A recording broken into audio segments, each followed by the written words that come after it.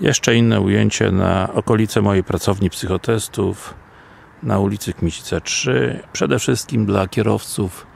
Bardzo duży, na kilkanaście samochodów. Bezpłatny parking. Można sobie spokojnie podjechać tutaj zaparkować. No i oczywiście pójść potem się przebadać